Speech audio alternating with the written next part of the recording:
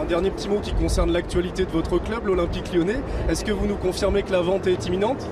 Oui, on vient de communiquer à l'instant. donc c'est pour ça que je suis arrivé un petit peu tardivement cette nuit. Mais donc oui, l'opération a été conclue, on communique ce soir. bon, il faut un petit délai pour régulariser l'arrivée des fonds. Mais je pense que lundi en 8 ou plus tard, l'opération sera définitivement euh, scellée, mais elle est aujourd'hui, euh, comme elle l'était d'ailleurs depuis le début, puisqu'on avait un, accord sans condition, euh, elle est maintenant tout à fait officielle. Merci beaucoup Président et bon match.